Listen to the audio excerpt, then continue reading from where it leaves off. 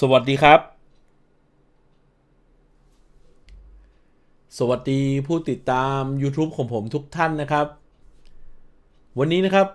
สรุปข่าวการย้ายทีมนะครับ ก็กลับมาพบกับทุกท่านอีกครั้งนะครับ ในช่วงเวลาประมาณเกือบ5ทุ่มเลยนะครับ วันนี้ผมบอกได้เลยว่า เรื่องราวของสรุปข่าวการย้ายทีมนะครับ สนุกมากนะครับ เรื่องราวของ ราล์ฟรังนิกนะครับในการที่จะออกมาเปิดเผยนะครับ แผน 5 ปี 5 ปีสำหรับแมนเชสเตอร์ยูไนเต็ดถ้าเขาจะคุมทีมนะครับ แต่ไม่รู้นะครับจะได้คุมหรือเปล่านะ แต่ว่าวันนี้ผมได้บทสัมภาษณ์นะครับ ในช่วงเวลาที่เขาเนี่ย ได้ออกมาบอกนะครับ ว่าเขาจะทำอะไรให้กับแมนเชสเตอร์ยูไนเต็ดบ้างนะครับ แล้วก็อีกหนึ่งเรื่องราวนะครับ เรื่องราวของลิเวอร์พูลกับเออร์ลิงฮาลันด์นะครับ เกิดขึ้นได้ไหมนะครับ วันนี้เจอร์เกนคล็อปป์ก็ออกมาตอบชัดเจนแล้วนะครับ ได้หรือไม่ได้ลิเวอร์พูลไม่เอานะครับ สู้ไม่ไหวค่าเหนื่อยนะครับ แต่กลายเป็นสโมสรแมนเชสเตอร์ยูไนเต็ดต่างหากละที่มีโอกาส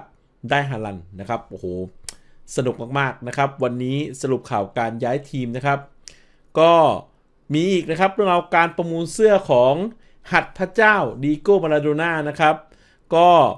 ได้เงินถึง 4 ล้านปอนด์เลยนะ ถ้าจะประมูลในปลายเดือนนี้นะครับ มันมีการเสนอราคามาจนถึงระดับ 4 ล้านปอนด์แล้วนะครับโอ้วันนี้เรื่องราวเยอะนะครับ ขออนุญาตเข้ารายการเลย เรามาดูรายละเอียดของข่าวนะครับ สรุปข่าวการย้ายทีมกันในช่วงค่ำคืนนี้กันนะครับ ข่าวที่1นนะครับ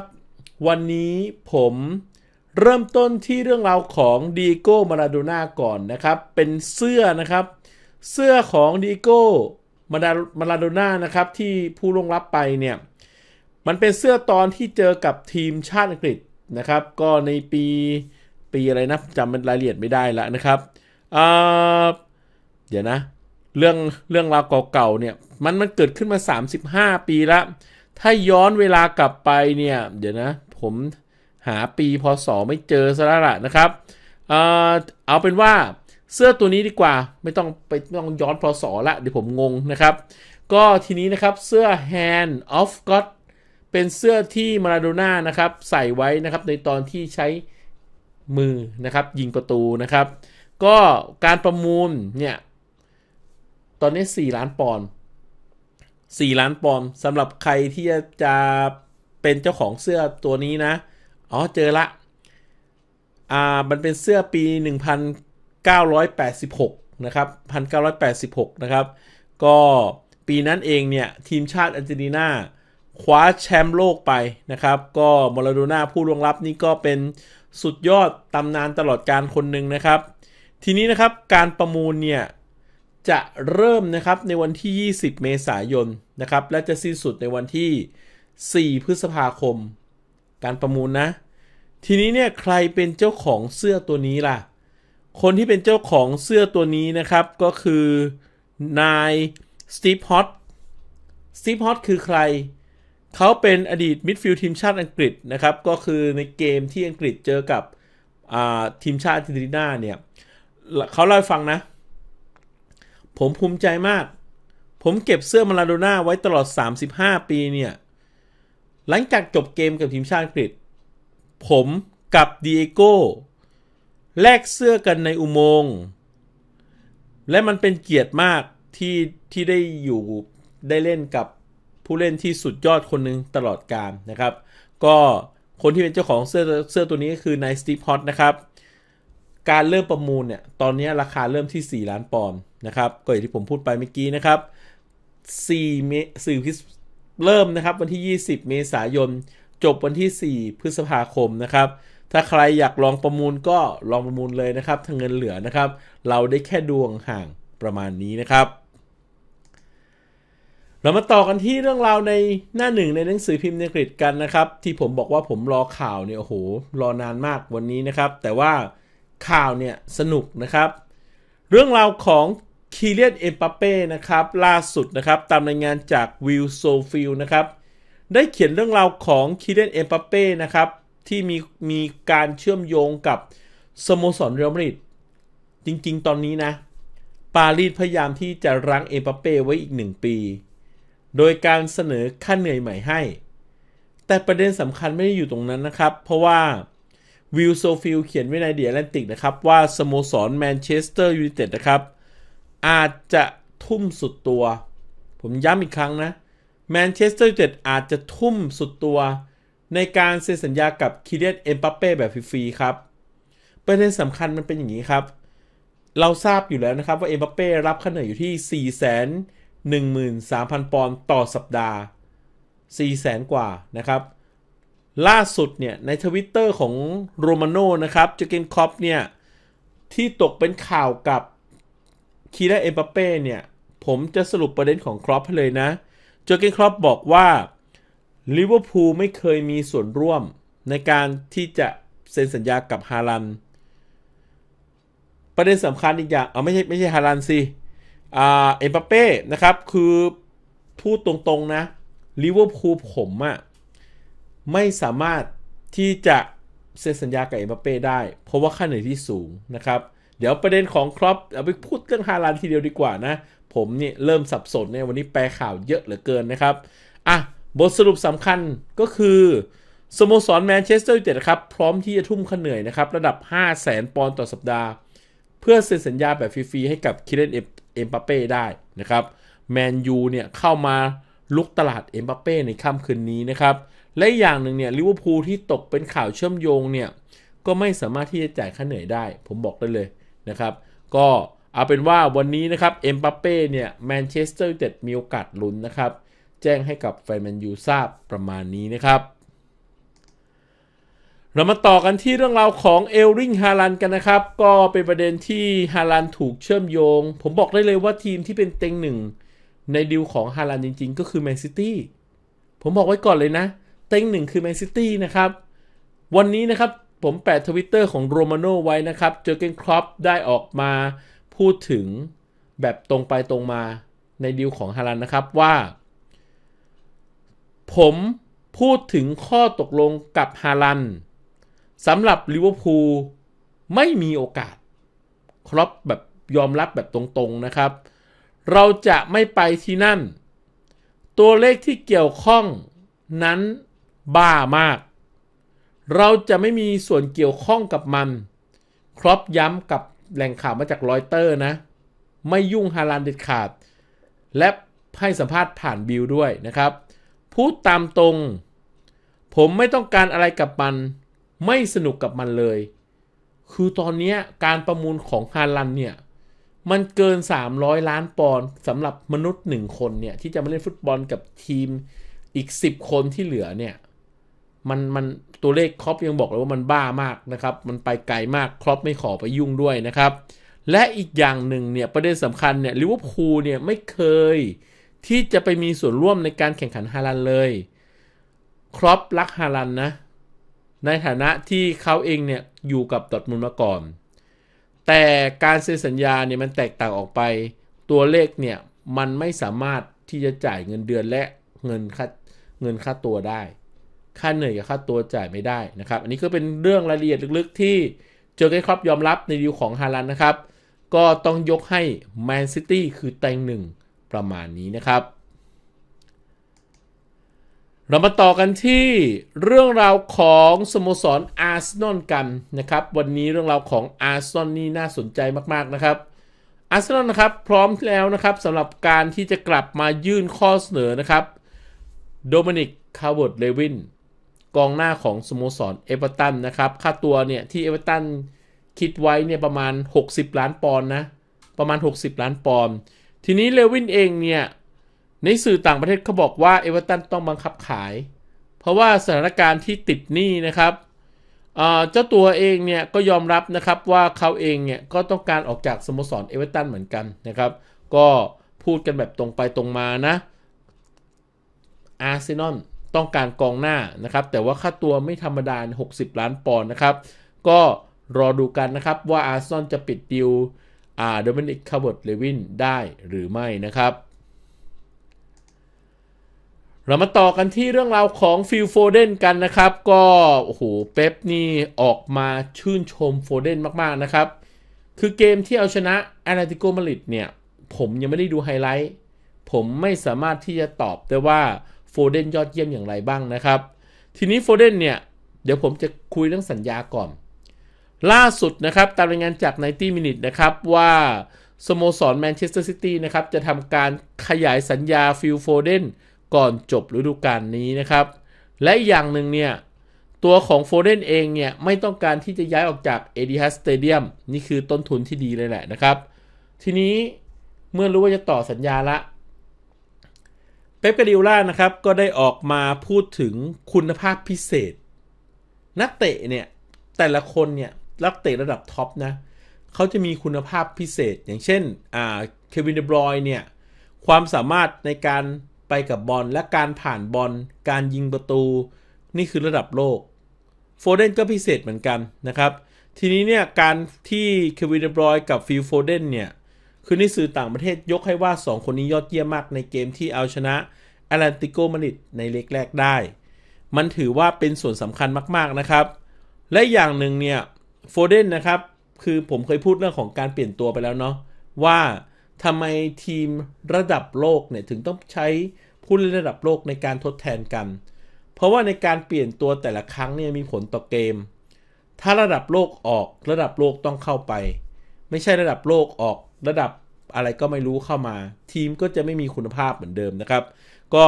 นี่คืออีกหนึ่งตัวอย่างในการทำทีมของของตัวของเป๊ปกาดิล่าที่ต้องชื่นชมนะ ไม่ว่าเขาจะ มีใครก็ตามในทีม แต่แมนซิตี้เนี่ยก็มีนักเตะระดับโลกทั้งนั้นนะครับ ก็ต้องเป็นเรื่องที่ต้องชื่นชมเป๊ปนะครับนั้นนัดต่อไปเลก 2 นี่ก็ต้องลุ้นกันนะครับ แต่ที่แน่ฟิลโฟเดนได้รับคำชื่นชมมาก ๆ นะครับ แจ้งให้กับแฟนแมนซิตี้ทราบประมาณนี้นะครับ เรามาต่อกันที่เรื่องราวของการทำนายผล การทำนายผลยูฟาแชมเปี้ยนลีกเนี่ย ผมอยากจะแปะภาพนึงจังเลยนะครับจริงๆแล้วเนี่ย ในรายการ อ่าเดี๋ยวเล่าให้ฟัง มันเป็นรายการที่เจมี่ คาร์ราเกอร์ไมก้าริชาร์ดส์นะครับ เกจิของอะไรนะ CBS Sport ไอช่องข่าว CBS เขาอะในอังกฤษนะ ทีนี้ประเด็นสำคัญเนี่ยเขาในรายการเนี่ยเขามาลองดูซิ ใครจะคว้าแชมป์ยูฟาแชมเปี้ยนลีกในในฤดูกาลนี้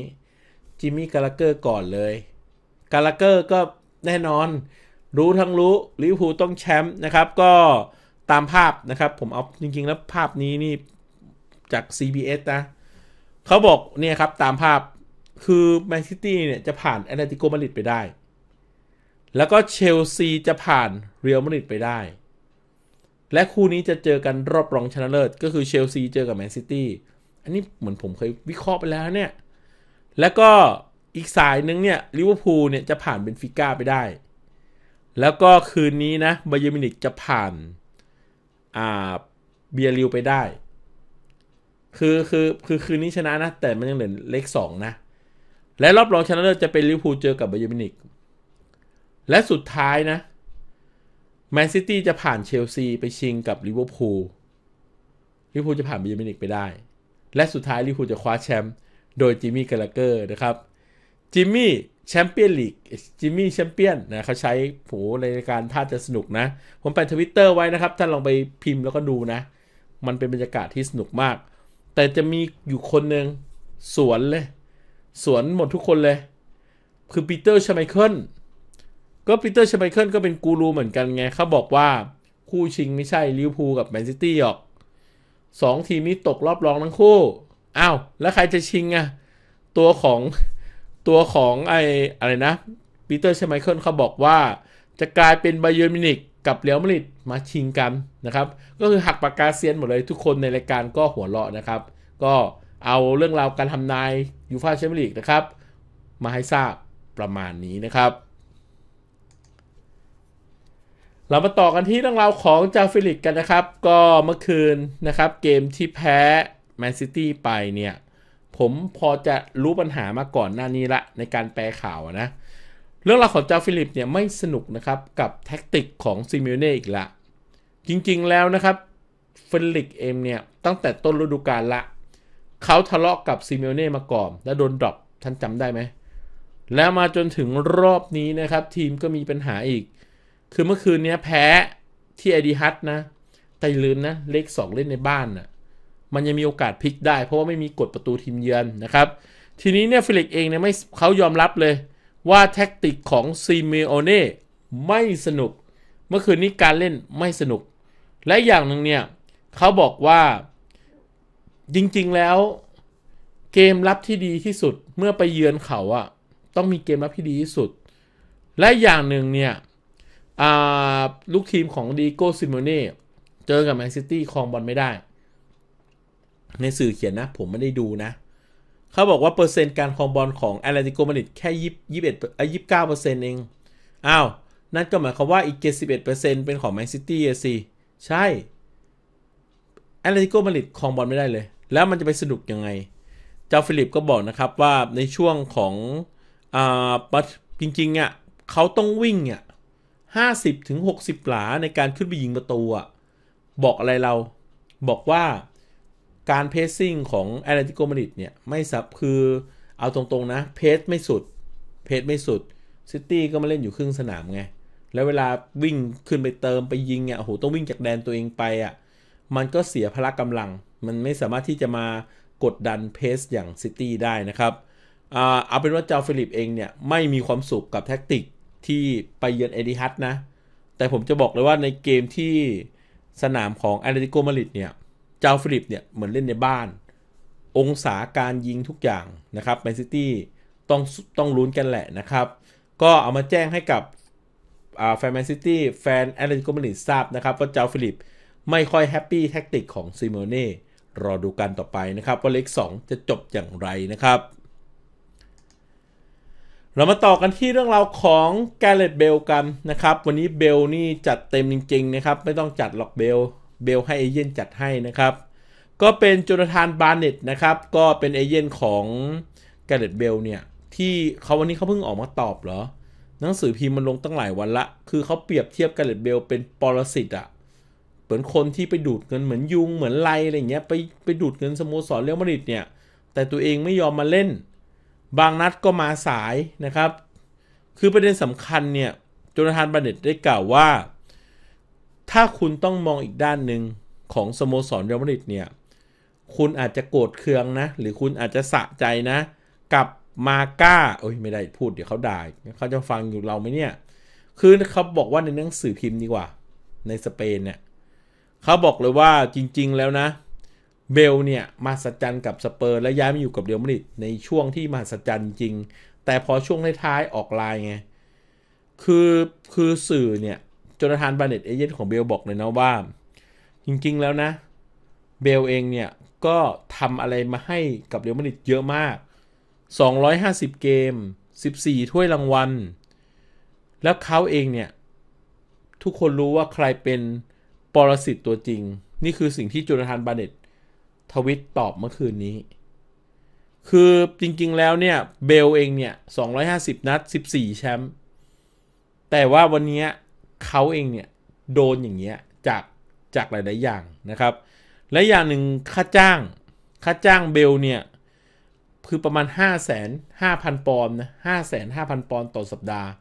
ไม่ใช่เงินน้อยๆ แต่สุดท้ายเบลก็มีปัญหาเยอะมาก โดยเพราะการชอบตีกอล์ฟการมาสาย ทีนี้นักข่าวที่ชื่อว่ามานูเอลจูเรียโดราโดซึ่งเป็นนักข่าวในสเปนเขาเป็นคนเขียนปรสิตมาจากเบลเนี่ยคนนี้แหละ นักข่าวคนนี้แหละ ที่เขียนว่าเบลนะครับ เขียนว่าปรสิตดังนั้นจูนาธานบาเน็ตก็เลยเหมือนกับว่าปรบมือให้นะ ว่าการปฏิบัติของเรอัลมาดริดที่ทำกับแกเรตเบลไม่สมควรแค่นั้นเองนะครับ ก็ แฟนเรอัลมาดริดอย่ามากดผมนะ ผมแปลตามหน้าหนึ่งในหนังสือพิมพ์อังกฤษอย่างเดียวเลย มันเป็นอะไรที่นักเตะเขาขัดแย้งกันนะครับกับสโมสรที่เขาใกล้หมดสัญญานะครับ จริงๆแล้ว 250 นัด 14 แชมป์อะน่าจะมีดีกว่านี้นะ ก็เอามาแจ้งให้กับแฟนเรอัลมาดริดทราบประมาณนี้นะครับ เรามาต่อกันที่เรื่องราวของเขาเรียกว่าแผน 5 ปี ในบทสัมภาษณ์ ผมได้ละจริง ๆ นะครับ วันนี้ผมจะเอามาตอบแฟนแมนยูเลยแหละว่าเอริก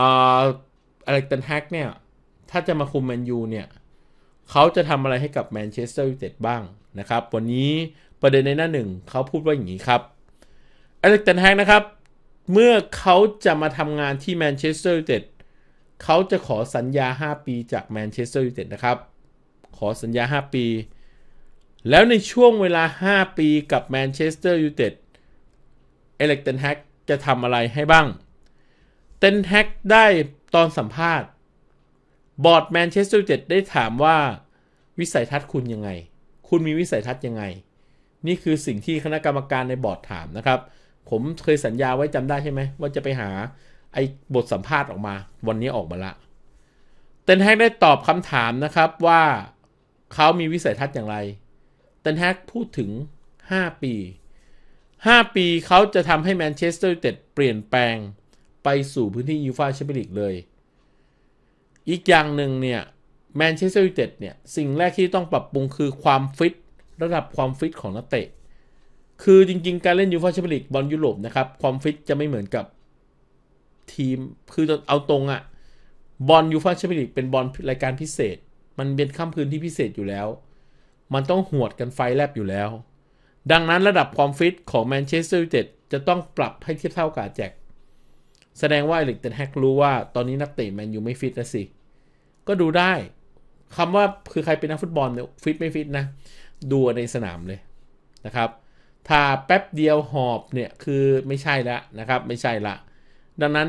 มันจะมีการกำหนดลมหายใจอะนะครับ เวลา อ่าอะเฮ้ไม่อยากจะพูด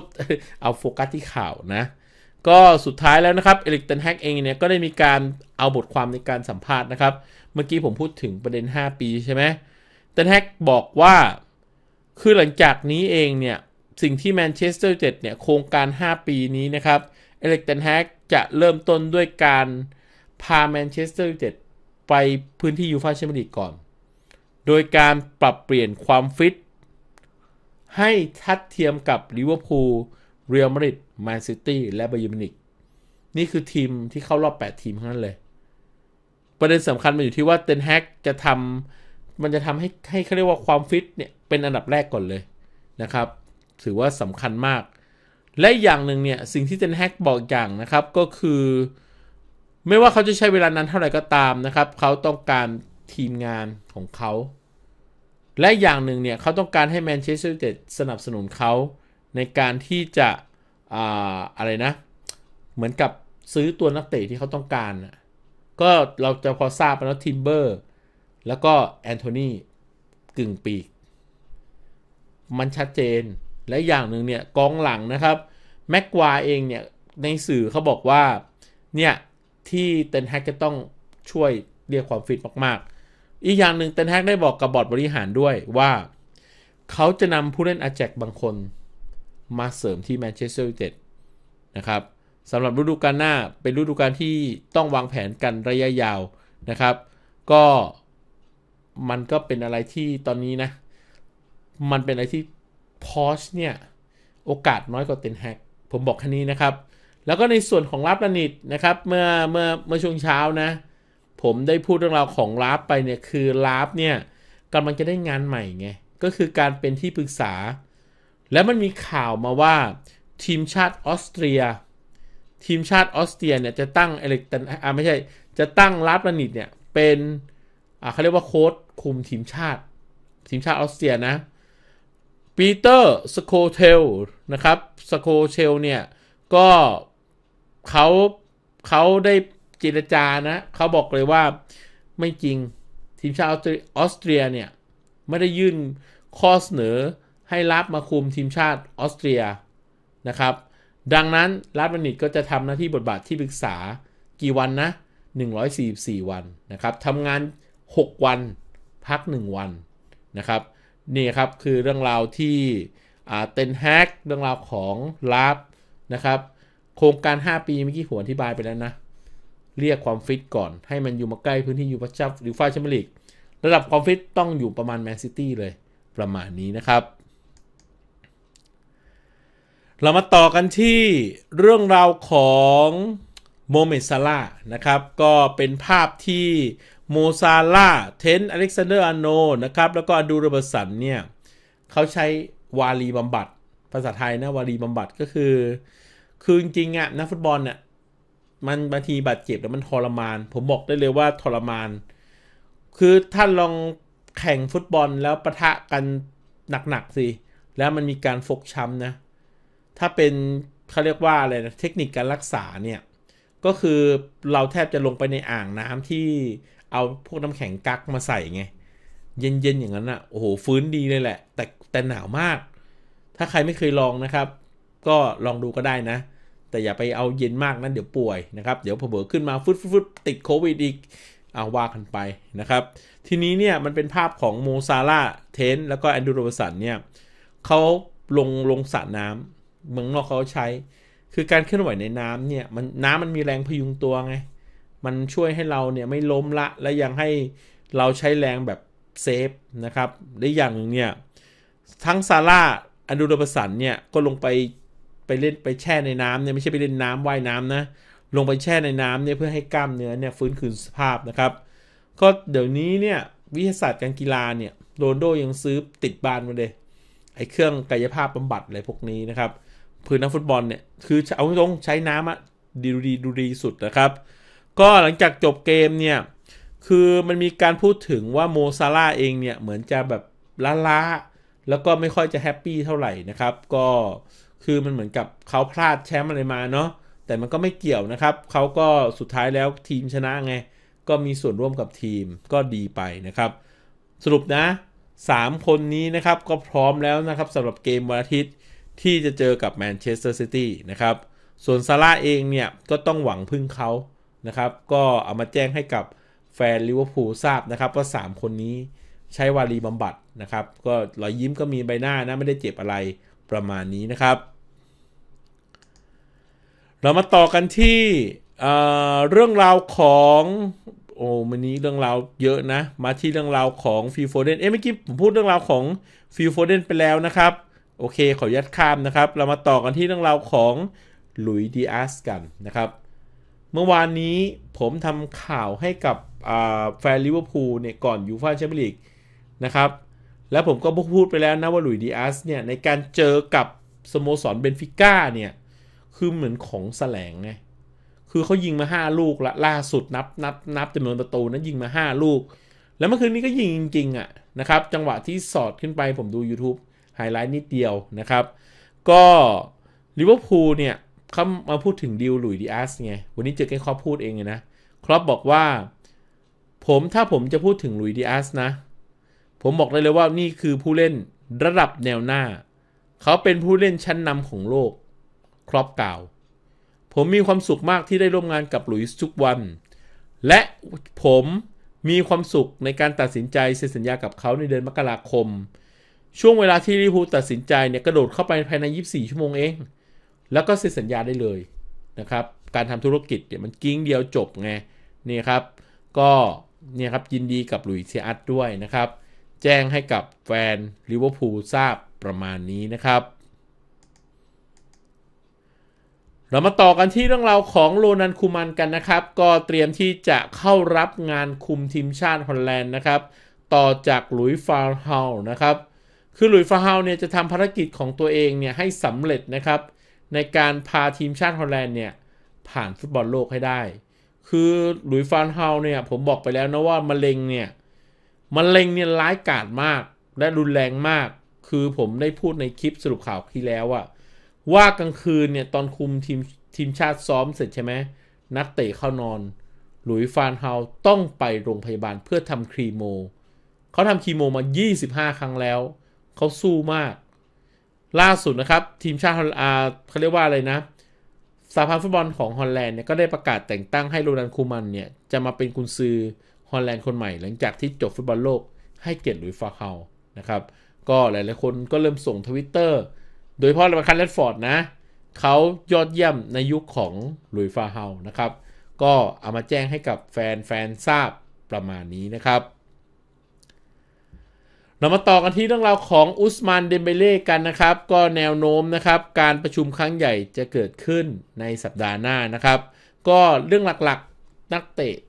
ไม่พ้นเรื่องเงินเดือน เขาต้องการต่อรองค่าเหนื่อยนะครับ ก็เดี๋ยวไว้เปิดฉากคุยกันละกัน แต่ที่แน่นะครับ จะเป็น free agent เดือนมิถุนายนนี้ เมษาพฤษภา มิถุนา2เดือนเศษๆ2เดือนเศษๆนะครับ ก็รอดูกันนะครับว่าบาซ่าจะจะขยายสัญญาอุสมันได้หรือไม่นะครับ เรามาต่อกันที่เรื่องราวของเดี๋ยวนะครับอ๋อรูดิเกอร์คืออย่างนี้ครับร้อยเปอร์เซ็นต์ตอนนี้นะ บาร์เซโลนาขยายสัญญาอาเราโฮโรนัลด์อาเราโฮนะครับ ทีนี้เนี่ยสัญญาก็จะถึงปี 2026 ถ้าผมจำไม่ผิดนะเขาต่อสัญญา 100%แน่นอน แต่ประเด็นสำคัญคือบาซ่าเนี่ยไม่สามารถปิดดีลเซ็นฟรีรูดิเกอร์ได้นะครับ เพราะว่าเขาเสนอค่าเหนื่อยให้รูดิเกอร์ต่ำไปนะครับ สรุปนะ ได้ปิดดีลในการ official เดี๋ยวเดี๋ยวรอภาพนะ โรนัลด์อาเราโฮก็จะเป็นสมาชิกใหม่ของบาไม่ใช่เป็นสมาชิกใหม่ต่อสัญญาระยะยาวนะครับกับบาซ่านะครับก็แจ้งให้ส่วนรูดิเกอร์ก็จะไม่ได้ไปอยู่กับบาซ่านะ เดี๋ยวรอลุ้นกันว่าจะไปทีมไหนนะครับ แจ้งให้กับแฟนบาซ่าทราบประมาณนี้นะครับ เรามาต่อกันที่เรื่องราวของสโมสรบาเยิร์นมิวนิกกันนะครับ เป็นเรื่องราวของยูเลียนนาเกลส์มันน์นะครับ ก็ล่าสุดนะครับ เขาต้องการเซ็นสัญญากับเอ็มปาเป้แล้วก็แฟรงกี้เดจอง นี่คือสิ่งที่บาเยิร์นมิวนิกปรารถนา คือเขาต้องการเซ็นสัญญากับเอ็มปาเป้แล้วก็ตัวของแฟรงกี้เดจอง ซึ่งนาเกลส์มันน์เองเนี่ย ตกเป็นข่าวกับการคุมลิเวอร์พูลคุมไม่คุมลิเวอร์พูลคุมแมนยูด้วยนะครับ แต่ทีนี้เนี่ย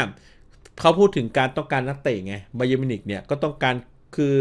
นักเตะหลายคนอายุเยอะเขาต้องการเคลียร์เขาอยากได้ แฟรงกี้เดยองนะครับ ก็ต้องรอดูกันนะครับ ข้อเสนอไม่น่าเป็นไปได้นะครับ หมดหรือยังนะครับเรื่องราวของฮาลันด์ไปแล้วนะอาเราโฮไปแล้วนะครับ ไล่มาเรื่อยๆนะครับเอ็มปัปเป้เหรอเดี๋ยวนี้ผมผมไล่ข่าวนะ ก็คงจะไม่โฟกัสอะไรมากนะครับเดี๋ยวมาต่อกันที่เรื่องราวของแฮร์รี่เคนกันนะครับ มาถ้าใครดูสรุปข่าว สโมสรแมนเชสเตอร์ยูไนเต็ดไปอะเมื่อช่วงเช้านะครับ ผมจะพูดถึงแฮร์รี่เคนไปไปรอบนึงแล้วเหมือนกันนะครับ ล่าสุดนะครับแฮร์รี่เคนนะครับพร้อมแล้วนะครับ ตามรายงานจาก The Athletic นะครับพร้อมที่จะฟังข้อเสนอจากแมนเชสเตอร์ยูไนเต็ดในการย้ายทีมนะครับและข่าวจาก The Athletic รายงานว่านะครับว่าตอนนี้เคนเองเนี่ยเหลือสัญญา 2 ปีสุดท้ายแล้วนะครับ คือสเปอร์มีโอกาสที่จะเสียเคนไปฟรีๆ ถ้าไม่รีบขายในซัมเมอร์นี้นะครับตามรายงานจาก The Athletic นะครับยังคงรายงานตรงกับนี่ครับหลาย ๆ สื่อว่าสโมสรเรอัลมาดริดก็จับตาดูสถานการณ์ของแฮร์รี่เคนด้วยเช่นกันนะครับ ก็เอามาแจ้งให้กับแฟนแมนยูทราบประมาณนี้นะครับ หมดหรือยัง โอเคแมนซิตี้กับฮาลันด์นะครับ โอเค เรามาต่อกันที่เรื่องราวของสโมสรลิเวอร์พูลกันต่อนะครับ คราวนี้นะครับเป็นเรื่องของการปิดดีล3ดาวรุ่ง 3 ดาวรุ่งมีใครบ้างนะครับ คนที่1นะครับก็คือฟาบิโอ คาร์วัลโญ่นะครับวัย 19 ปีของฟูแล่มคนที่1นะครับ คนที่ 2 ก็คือเทรนต์ โคนโดเฮอร์ตี้นะครับ ซึ่งเป็นโอ้โหนักเตะที่เก่งคนนึงเลยแหละนะครับ ถ้าผมจำไม่ผิดน่าจะเล่นกองกลางนะครับ แล้วก็ในส่วนสุดท้ายคือเบนเบนโดกนะครับ เบนโดกก็เป็นนักฟุตบอลตำแหน่งฟูลแบ็กนะครับที่ย้ายมาจากเซลติกนะครับลิเวอร์พูลจะเซ็นสัญญา 3 คนรวดเลยนะครับ ก็รอดูกันนะครับ หมดหรือยังในส่วนนี้ อ๋อ เรื่องราวของโอเรเลียงชูอาเมนี่นี่คงจะไม่เอานะครับ เรามาต่อกันที่เรื่องราวของติโมแวร์เนอร์กันนะครับ ล่าสุดนะครับก็มี 3 สโมสรนะครับ เตรียมที่จะขอยื่นข้อเสนอ ถ้าเชลซีถูก เขาเรียกว่าอะไรปลดล็อกการคว่ำบาตรนะครับ ล่าสุดตามรายงานจาก The Express นะครับ ว่าตอนนี้นะครับ Volker s t u d นะครับ ก็เป็นเอเจนต์ของ w a r n e r นะครับ ได้เดินทางไปในอิตาลีนะครับ 3 ทีมที่สนใจเซ็นสัญญากับทิโมแวร์เนอร์ของเชลซีก็คือสโมสรเอซิมิลานนะครับสโมสรยูเวนตุสและสโมสรอตาลันตาบีซีนะครับ ก็เอามาแจ้งเรื่องราวของทิโมแวร์เนอร์ก่อนนะครับว่า เชลซีจะปล่อยหรือเปล่า รอดูกันนะครับ เรามาต่อกันที่เรื่องราวของเดนสการ์เล็ตต์กันนะครับ ก็เป็นเรื่องราวของสโมสรสเปอร์นะครับ ล่าสุดนะครับ ตามรายงานจาก Football Insider นะครับสโมสรสเปอร์นะครับ พร้อมที่จะส่งสการ์เล็ตต์นะครับขึ้นสู่ชุดใหญ่ของสเปอร์นะครับ ก็ในตอนนี้เนี่ยสการ์เล็ตต์เองเนี่ยก็น่าจะเป็นกองหน้าแบบธรรมชาติเพียงคนเดียว ที่อายุน้อยที่เล่นดีอยู่นะครับ ก็สเปอร์เองเนี่ยก็จะมีข่าวอ๋อเดี๋ยวแฟนสเปอร์จะขอให้ทำข่าวเดี๋ยวขอดูข่าวเช็คข่าวพวกนี้ก่อนนะครับ เดี๋ยวถ้ามีอะไรจะจัดให้นะครับ บทสรุปนะครับเดนสการ์เล็ตต์นะครับก็อาจจะต่อสัญญาฉบับใหม่ระยะยาวกับสเปอร์ต่อไปประมาณนี้นะครับ เป็นไงบ้างครับสรุปข่าวการย้ายทีมตลาดนักเตะล่าสุดนะครับในค่ำคืนนี้นะครับ โอ้ ถ้าผมอัด ข่าวนี้ก็เกินเที่ยงคืนละสงสัยจะต้องปรับเป็นวันใหม่ไปเลยนะครับ บทสรุปสำคัญของคลิปนี้นะครับ เรื่องราวของเสื้อหัดพระเจ้า Hand of God ของมาราโดน่านะครับ จะเริ่มประมูลนะครับในวันที่ 20 เมษายนนะครับ สิ้นสุด 4 พฤษภาคม เริ่มต้นที่ 4 ล้านปอนด์ใครเหลือก็ไปประมูลเขานะครับ เรื่องที่ 2 นะครับก็เป็นเรื่องของคีเลียนเอ็มบัปเป้นะครับกับแมนเชสเตอร์ยูไนเต็ดนะครับ แมนยูสามารถทุ่มค่าเหนื่อยเอ็มบัปเป้ได้ วันนี้มายังไงก็ไม่รู้นะข่าว แต่ว่าโอ้โหผมแปะทวิตเตอร์ให้ดูแล้วนะ เรื่องที่ 3 นะครับ ก็เป็นเรื่องของเจอร์เกนคล็อปป์นะครับคล็อปป์รักฮาลันด์นะ แต่พูดกันแบบตรงไปตรงมาคือเราไม่สามารถจ่ายค่าเหนื่อยที่มันบ้ามากได้นะครับ คนเดียว 300 ล้านปอนด์ใครจะไปจ่าย แต่ว่ามันใครจ่ายได้เป็นสิทธิ์ของเขา และเขาอาจจะได้ฮาลันด์แล้วแบบ ได้แชมป์ทุกแชมป์ในโลกนี้ก็ได้นะครับ แล้วก็อีกหนึ่งเรื่องสำคัญนะครับ ก็เป็นเรื่องราวของอาร์เซนอลกับโดมินิกคัลเวิร์ตเลวินนะครับใช้เงิน 60 ล้านปอนด์นะครับ แล้วก็เรื่องราวของฟิลโฟเดนนะครับ จบฤดูกาลนี้จะได้รับการขยายสัญญา เป๊ปชื่นชมมากๆ คุณภาพที่พิเศษนะครับ การการทำนายผลของเจมี่คาร์ราเกอร์ยูฟ่าแชมเปี้ยนลีกนะครับก็เลือกลิเวอร์พูลเป็นแชมป์นะ จะไปชิงกับแมนซิตี้ โอ้โห พูดก่อนได้ยังไงเนี่ย บอลยังไม่ได้แข่งเลยนะครับ แล้วก็เรื่องราวของชูเอาเฟลิกซ์นะครับ ไม่ happy กับแท็กติกกับแฮกแท็กติกของซิเมโอเน่ผมว่าโค้ชทุกคนมีเหตุผลนะทำไมต้องเสียแค่ลูกเดียว ก็ไปอัดในบ้านไง เพราะไม่มีกฎประตูทีมเยือนนะครับ เล่นในบ้านกองเชียร์ยังช่วยนะครับ ในส่วนเรื่องราวของแกเรตเบลเนี่ยก็เป็นไปตามคาดนะครับว่าเบลจะไม่ได้รับการต่อสัญญาจากเรอัลมาดริดนะครับ แล้วก็เรื่องราวของอใครหลายคนเนี่ยเรื่องราวของแผน 5 ปี แผน 5 ปีของเอริกเทนฮากครับ เรื่องแรกที่ต้องทำคือการปรับความฟิต ของผู้เล่นแมนเชสเตอร์ยูไนเต็ดให้อยู่ในระดับเดียวกับพวกแมนซิตี้ลิเวอร์พูลให้ได้ คือเหมือนกับว่านักเตะไม่ค่อยจะมีไม่ค่อยจะฟิตเท่าไหร่อะไรประมาณนี้นะ แล้วก็เรื่องราวของเอเดี๋ยวนะครับ พวกเทนมูซาร่ากำลังกายภาพใช้น้ำวารีบำบัดนะครับ ก็มีภาพในอินสตาแกรมของเขานะครับ เรื่องราวของโอ้โหเรื่องราวของลุยดิอาสนะ ปรับตัวใช้เวลาไม่เยอะนะครับ สุดยอดนี่ผมยังชอบเลยนะครับ เรื่องราวของโรนันคูมันก็จะมาคุมทีมชาติฮอลแลนด์ หลังจากจบฟุตบอลโลกแทนหลุยฟาเฮานะครับส่วนอุสมานเดเบเล่เองเนี่ยก็ยังไม่สามารถต่อสัญญาได้นะครับ แล้วก็บาร์เซโลนาจะไม่สามารถเซ็นสัญญากับอ่าโทอ่ารูดิรูดิไออะไรนะรูดิเกอร์ได้นะครับ เนื่องจากรับภาระค่าเหนื่อยไม่ไหว แต่ข่าวดีก็คืออาราอูโฆนะครับก็จะต่อสัญญาฉบับใหม่แบบ official แฟรงกี้เดยองนะครับได้รับความสนใจจากบาเยิร์นมิวนิกนะครับแต่เจ้าตัวจะไม่ไปไหน เคนได้รับข้อเสนอจากแมนเชสเตอร์ยูไนเต็ดแล้ว อันเนี้ยต้องลุ้นกันจนแบบช่วงท้ายๆเลยนะ ผมผมบอกไว้ก่อนเลย ใครปิดดีลเคนได้เนี่ยสุดยอดนะครับกองหน้าทีมชาติอังกฤษรายนี้นะตามรายงานจาก The Athletic เนี่ยแมนยูมีโอกาสมากที่สุดเลยแหละนะครับในขณะที่ลิเวอร์พูลเองนะครับจะปิดดีล 3 นักเตะดาวรุ่งนะครับ มีเบนโด๊กนะครับ แล้วมีใครบ้างเมื่อกี้ผมปิดไปหมดแล้วนะ ทีนี้พอจะเอามาอ่านปุ๊บหาไม่เจออีกนะครับ ก็จะมีอ่าฟาบิโอคาร์วัลโญ่ผมจำได้ละ แล้วก็มีใครนะ อะไรนะเทนมีเทรนเทนอะไรสักอย่างนั่นแหละชื่อยาวๆนะครับ แล้วก็อีกคนนึงก็จะเป็นอะไรเบนโด๊กนะครับสามคนลิเวอร์พูลปิดดีล3 คนนะแล้วก็เรื่องราวของทิโมแวร์เนอร์นะครับ ได้รับความสนใจจาก 3 สโมสรในอิตาลีนะครับ ก็หลังจากจบฤดูกาลนี้จะมีการเจรจานะครับเอเจนต์ของเขาชื่อว่า w o r k e r s t u n เนี่ยตอนนี้อยู่ในมิลานอยู่นะครับ ก็จะมี AC มิลานยูเวนตุสอตาลันตานะครับสามสโมสรสนใจทิโมแวร์เนอร์อยู่นะครับ สุดท้ายแล้วนะครับสเปอร์นะครับก็จะเซ็นสัญญาระยะยาวนะครับกับเดนสการ์เล็ตต์นะครับ ซึ่งตอนนี้เนี่ยสเปอร์เนี่ยถ้าถามว่าหน้ามืออาชีพนี่แทบจะไม่มีอยู่แล้วนะครับ ก็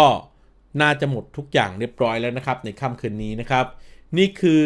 สรุปข่าวการย้ายทีมทั้งหมดในช่วงค่ำคืนนี้นะครับ ขอบคุณทุกท่านนะครับที่ติดตามคลิปนี้